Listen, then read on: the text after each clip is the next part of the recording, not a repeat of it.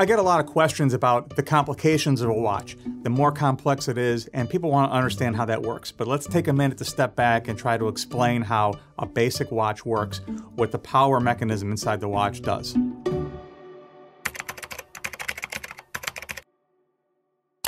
Our basic watch has two hands. We have an hour hand and a minute hand.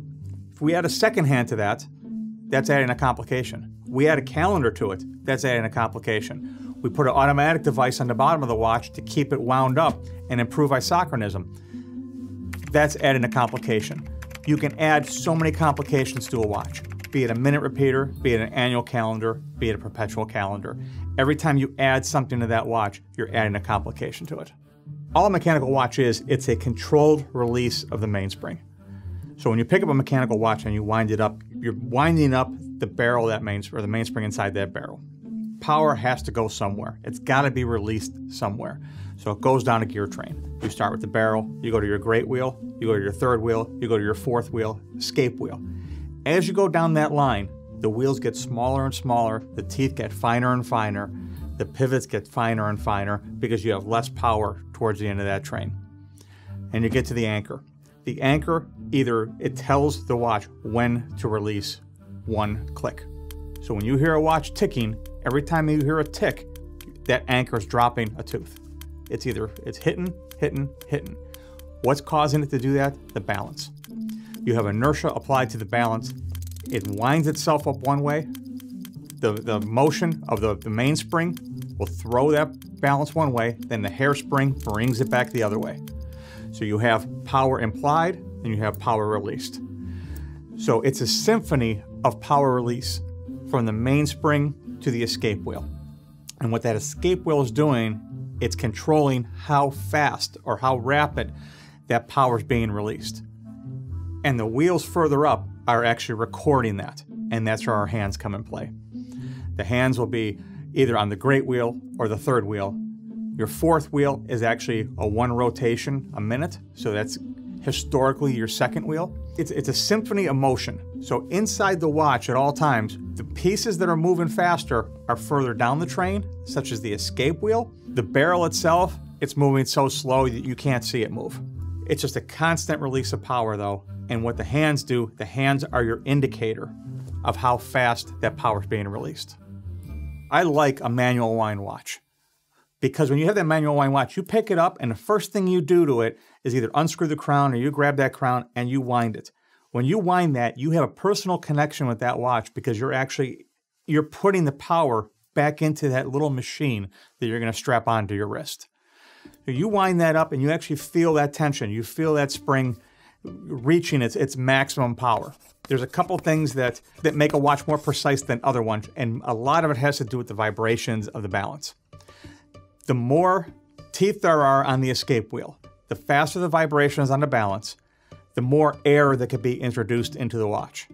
And as when I talk about error, if you if you have a, a variance somewhere, if you have much more of something, if you have 28,800 vibrations per hour, you have more more room for air in that than if you have 18,000. So watches historically they were made at 18,000. Now watches are made at 36,000. They run even faster. And where you see the difference is if you watch your second hand, a slower beat watch is going to have a slower second hand. You'll actually see those steps come through, where a faster beat watch will actually be very, very smooth. We talk about the variation in timekeeping of a watch. We have positional error. And a positional error has to do with the internal balancing of the components. It has to do with the, the position of the hairspring and the weight of the hairspring in different positions.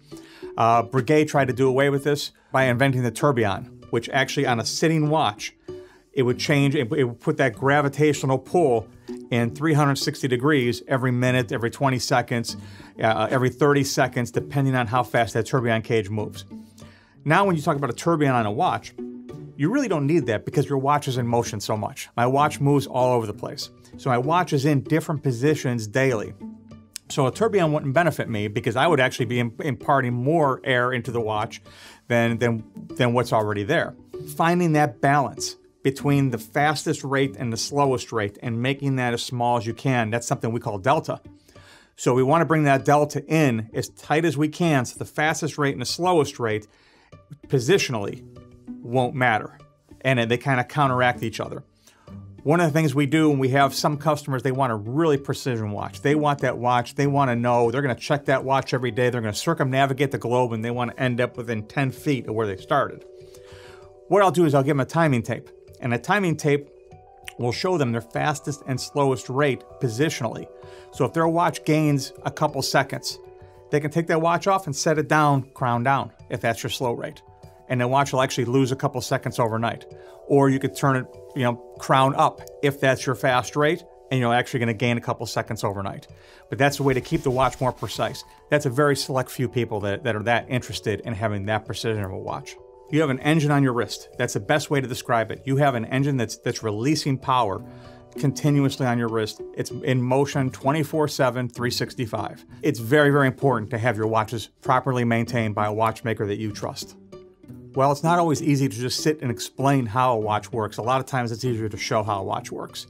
So, in the coming months, we're going to be coming out with a new segment on my Instagram showing the different functions of the watch and how, how it works. Thank you for watching, and I hope you liked this video. If you did, don't forget to like, comment, and subscribe for more content like it.